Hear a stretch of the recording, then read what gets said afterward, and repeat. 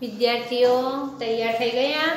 આપણે ગણિતની book, not બધું લઈને હવે આપણે પ્રકરણ, જગ અને મગ ભાગ આપણે ત્રણ શીખવાનો છે. કયો ભાગ શીખવાનો છે? ત્રણ. હવે એનીમાં આપણે પાન નંબર એકસો છપ્પન છે. સાચી જોડ બનાવવાની છે. જુઓ, બુકમાં તમને આવી રીતે ચિત્રો આપેલા છે. મેડમે પણ આવી રીતે ચિત્રો દોરેલા છે. તો જુઓ, દૂધનું માપ્યું છે. પાણીની ટાંકી તમારા ધબા ઉપર હોય છે ને, એ પાણીની ટાંકી છે. ડોલ છે. આંખમાં દવાની નાખવાની બોટલ. આંખમાં દવા નાખીએ છીએ ને, એની બોટલ છે. અને પાણીનો જગ. હવે આપણને અંદાજે અનુમાન આપ્યું છે. અનુમાન કીધું હોય તો થોડુંક આગળ પાછળ પ્લસ માઇનસ થઈ શકે છે. પણ સાચું અનુમાન એટલે લગાવવાનું છે, લગભગ બાર લીટર, અડધા લીટરથી ઓછું લગભગ પાંચ લીટર, એક હજાર લીટર, અડધો લીટર. બરાબર? તો આપણે હવે જોઈએ કે અનિમયથી લગભગ બાર લીટર. અડધા લીટરથી ઓછું, અડધો લીટર. એટલે પાંચસો મિલી. આપણે અહીંયા આગળ લખી દઈએ પાંચસો મિલી. થી ઓછું. બરાબર? લગભગ પાંચ લીટર, એક હજાર લીટર અને એક તૃતીયાંશ લીટર. એક તૃતીયાંશ એટલે અડધું. અડધો લીટર એટલે પાંચસો મિલી. જુઓ, હું તમને આ સાઈડ ઉપર આવી રીતે બતાવી દઉં, એટલે તમને ખ્યાલ આવી જાય. તો પહેલા આપણે જુઓ, દૂધ માપવાનું આપી પાણી ટાંકી, ડોલ, આંખમાં દવાની બોટલ અને પાણીનો જગ. હવે તમારે અનુમાન લગાવવાનું છે તો પહેલા લગભગ બાર લીટર.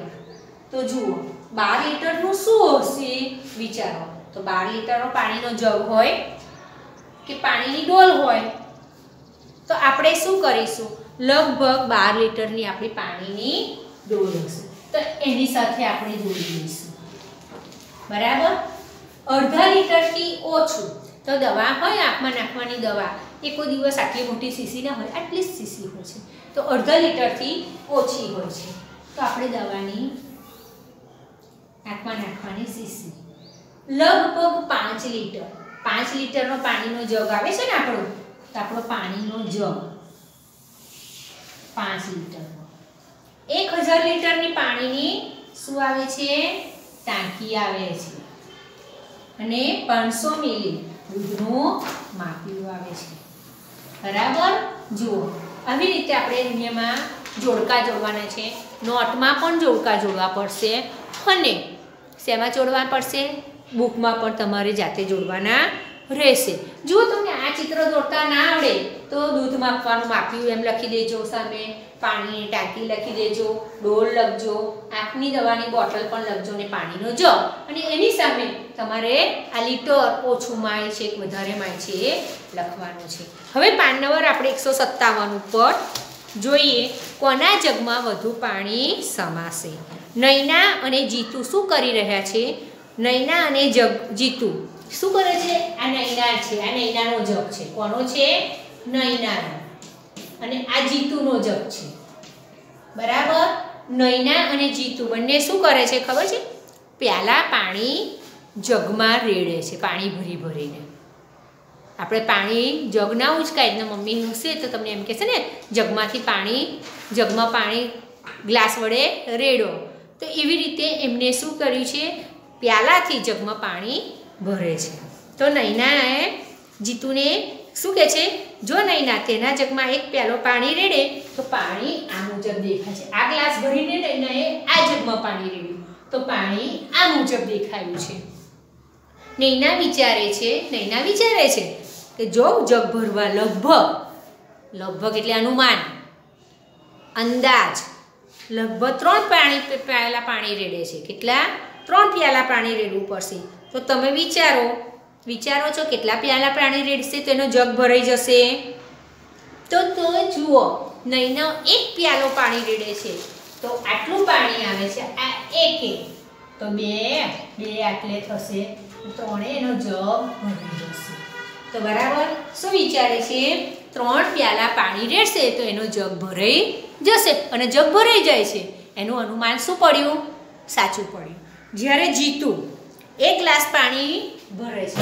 અને આ ગ્લાસ ભરીને આ જગમાં પાણી રેડ્યું. તો એક ગ્લાસ ભર્યું તો એટલું જ પાણી થયું.